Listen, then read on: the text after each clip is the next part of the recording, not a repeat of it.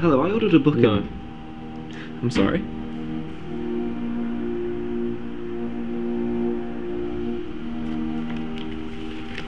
Yes? I ordered a book in a week ago. Oh, I see. You want me to check to see if your book has come in? You want me to nip out back to see if our last delivery contained the book you ordered? You want me to check our stock lists for the novel you require? You want me to search our shelves for your desired work of literature? Well, No, good morning. what? Your book hasn't arrived yet. Good morning. But I haven't even told you the title. No new deliveries this week. Good morning. Are you sure? Entirely. Could you at least check? What do you mean? Search for the title in this computer. Okay. What's the title then? The Adventurous Naval Exploits of Admiral A. Fanning Dote.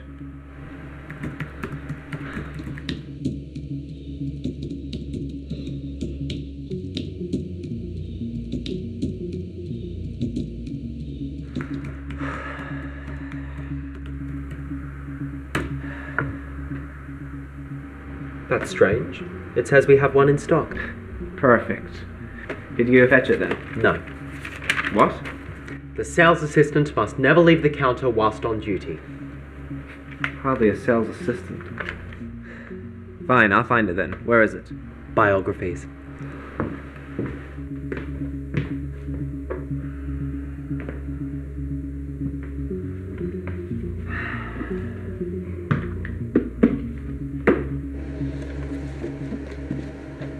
What an excellent choice, sir.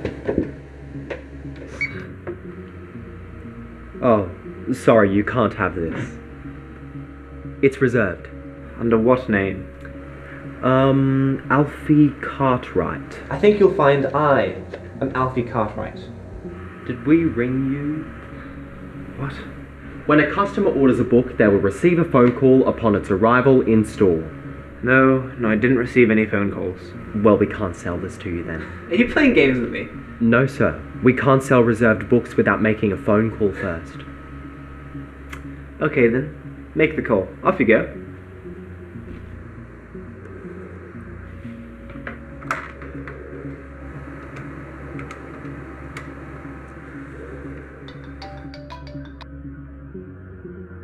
No, I do not want a new phone plan. No, I don't bloody care. I just want to buy a goddamn book.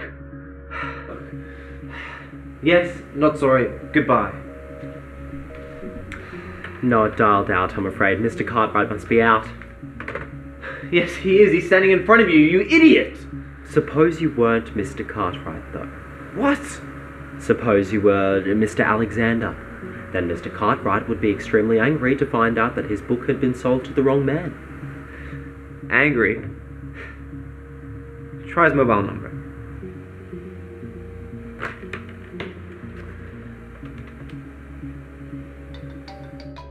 Hello? Janet, for God's sakes, what do you want? I left my phone at home.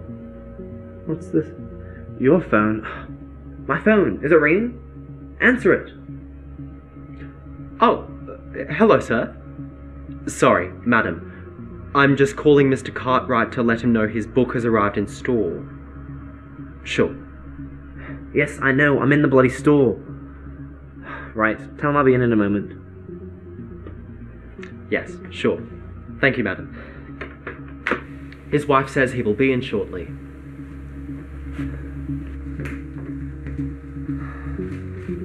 Hello, I'm Alfie Cartwright, and I would like to pick up my copy of The Adventurous Naval Exploits of Admiral A. Fanning Dote, which I ordered from your less than fine bookstore a week ago. We're closed for lunch. It's 10 o'clock. Brunch? Look, I want that book, and if you're not going to give it to me, I might as well take it from you. Oh, no, you couldn't do that, sir. That would be stealing. Men have been locked up in prison for a lot worse than stealing, and believe me, I'm planning to pursue one of those plasts right now. Twelve ninety-five.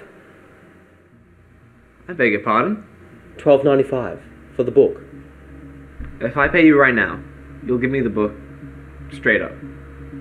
No phone calls, no questions. Fine. That's more like it. Now, where did I put that cash register? You know what? Keep the change.